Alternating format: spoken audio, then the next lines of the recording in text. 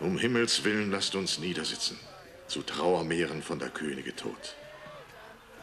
Wie alle, die entsetzt sind, die im Krieg erschlagen, die heimgesucht von Geistern der Entthronten, im Schlaf erwürgt, von ihren Frauen vergiftet, ermordet alle. Denn im hohlen Zirkel, der eines Königs sterblich Haupt umgibt, hält seinen Hof der Tod.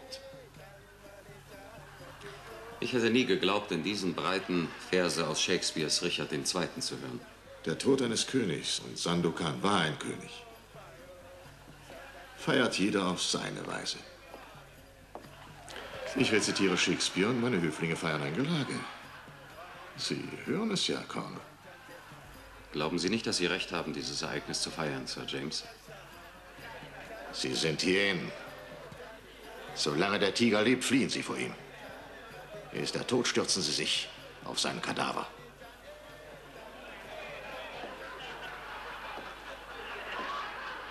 Ich habe den Eindruck, dass Sie über Sandokans Tod trauern.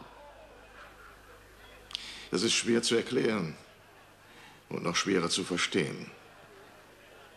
Äh, Colonel, was ist England für Sie? Tja, das Grün der Wiesen seiner Grafschaft? Die Lichter am Trafalgar Square am Heiligen Abend? Ihr College, Militärakademie, Ihr Club, der Hof von St. James. Für Engländer wie mich, die weit weg vom Mutterland leben, ist das anders. England, das ist das Empire. Die Wettkämpfe der Berber in der Wüste im fahlen Licht des Mondes. Der irische Sergeant, der mir als Kind die Soldatenlieder beigebracht hat. Der Markt von Lahore, wo tausend indische Dialekte durcheinander schwirren. Die musulmanischen Rebellen am Nil. Die Kinder, die in Kabul verhungern. Die Abenteuer und. und auch Sandokan. Coleridge hat recht gehabt. In jedem Eroberer steckt ein Dichter. So hat mir noch nie jemand die Vielfalt des Empire vor Augen geführt. Sandokan und ich waren zwar jahrelang Gegner, ja sogar Todfeinde. Aber jetzt, wo er tot ist, kommt es mir vor, als wäre ein Teil von mir gestorben.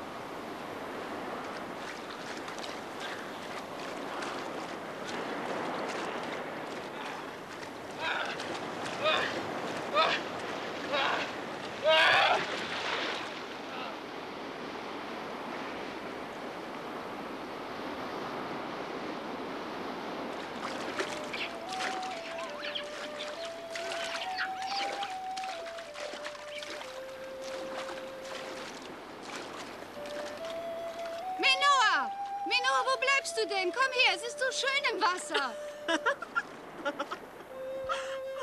Du lernst es doch nicht. Gib's auf. Na, warte, ich hol dich.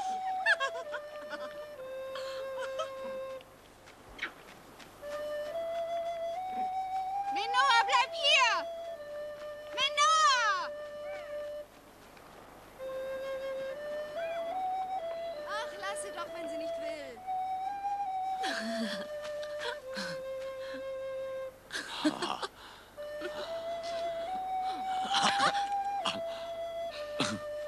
ha ha!